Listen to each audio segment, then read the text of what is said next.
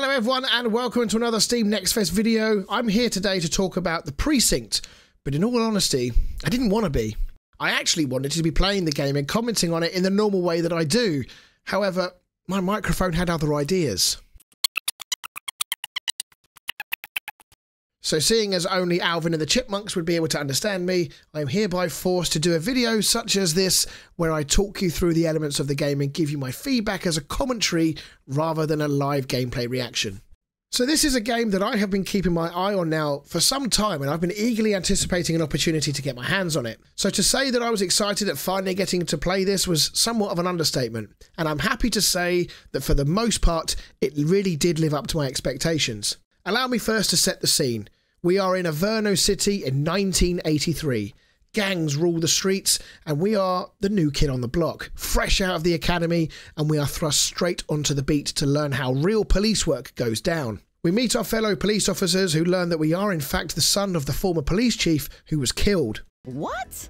No way. We are then straight into a cop car and getting to hear the lowdown from Sergeant Kelly, who is the stereotypical cop who sort of sounds like he's been doing it too long and just wants an easy life getting by, doing the bare minimum required. He becomes our guide and tutorial as we learn to not only drive cars and helicopters, but to go around and ensure that even minor crimes such as parking fines and graffiti are properly dealt with. The game has an impressive level of depth to the crimes that we are being tasked with solving. Each crime in the long list of the ones that we will potentially see being committed has its own guide and process for how it needs to be dealt with. This includes the appropriate level of force that you can use, at which stage should we ask for ID or instigate a search, or whether or not they should be arrested or just fined. It's actually quite a strange feeling because the game has a rather nostalgic look to it. And by that I mean that it does sort of remind me of the old school GTA games. I'm talking the top down ones from the early PlayStation days. Now, clearly, this is much more modern graphics and a really cool noir style to it, but for some reason, when I first started this game and I was driving around, I actually sort of felt like I should be going and finding a mission or generally just causing mayhem. Whereas in this one, of course, I'm the one keeping the peace. We embark on thrilling vehicle chases through destructible environments, attempting to stop criminals getting away using a variety of options.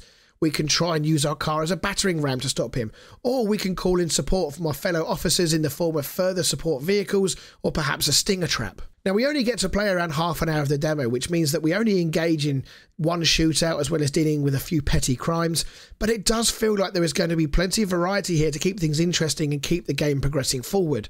Little was divulged about the story itself during this demo, but we do know that the story centres around your father's murder in the line of duty. So you can be sure that Nick Cordell Jr. is going to be investigating and likely uncovering unsettling pieces of information that will lead to some exciting and dangerous situations. I've only got two real criticisms about my time spent with this demo, but they are both fairly minor. The first is the voice acting. It is actually quite difficult at times to tell whether it's AI or whether it's actual voice actors. When you're talking with Sergeant Kelly, for example, whilst you're out on patrol, the voice acting is fine and engaging to listen to. Took different paths when we got on the force, though. He wasn't gonna let anything get in his way. However, during the almost comic book strip style cutscenes, where there are multiple people involved in a conversation, things get a little bit more murky. I want to introduce you to our newest tender lamb fresh out of the academy. Bah.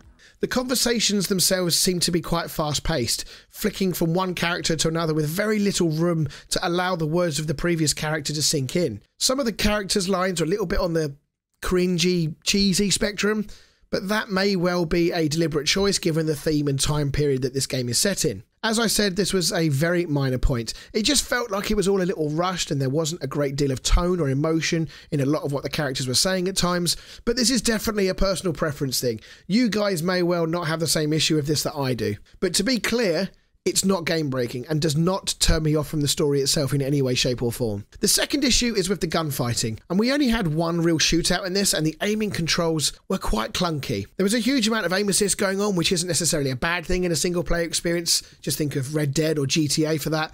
But for me, it did take away the element of feeling like it was you doing the shooting the aim assist was so strong. In fact, that trying to adjust your aim to try and maybe get a headshot was actually quite difficult because it felt like the game was actively fighting against you. But just like the issue I have with some of the voice acting, this is not a deal breaker and this is only based on one gunfight, which means I will likely have plenty of time to get to grips with it and it may well be something that becomes a little bit more natural as the game goes on. Those are literally the only two negatives. Everything else feels really good. The driving is pretty smooth. The cars have some weight to them so that when you're turning them in, they're not turning like they're on rails, but equally they don't turn like an oil tanker. There's like a nice middle ground where the cars are responsive but still require an element of skill to stay in a pursuit of another vehicle, for example. One final comment on this game that I'd like to point out is that I really feel like this game could be a hit on the Steam Deck. I have many games that I play almost exclusively on mine because they're just so good to play on a handheld device. Midnight Suns is the standout for me when it comes to handheld gaming on my Steam Deck, and everything I've played from the precinct suggests that it would fit perfectly into a Steam Deck experience. This is, of course, on the assumption that the Steam Deck hardware is capable of running the game, but I would be quite surprised if it wasn't able to. The controls are not overly complicated. Most things are accessed via a radial dial menu, and with the aim assist, the shooting should not be a problem either. The only potential issue could be the size of the text, but in reality, I think that's something that they could easily sort. If the demo of this is still available by the time you watch this, I really highly recommend you give this a go. To me at least, it feels like there's a real appetite in the gaming space at the moment for rich single player experiences. The fatigue of multiplayer gaming and everything that comes with it feels like games that are in development currently that are single player, rich in storytelling with fun and enjoyable mechanics are more popular now than they have been for a long time. Just as an example, if I had to ask you about the 10 best games in the last five years or so, I would lay good money that most people are going to have games like Elden Ring, Ghost of Tsushima, Spider Man, God of War, Star Wars Jedi Fallen Order, Final Fantasy VII Rebirth, or Red Dead 2 on their lists. That isn't to say that, of course, that multiplayer gaming doesn't have its place. In fact, some of the games I've just mentioned even have multiplayer elements to them. But I do believe that the age of single player experiences is upon us again, and developers would do well to recognise that. Whether or not the Precinct adds to the list of fantastic single player experiences, like those that I've just mentioned, I don't know.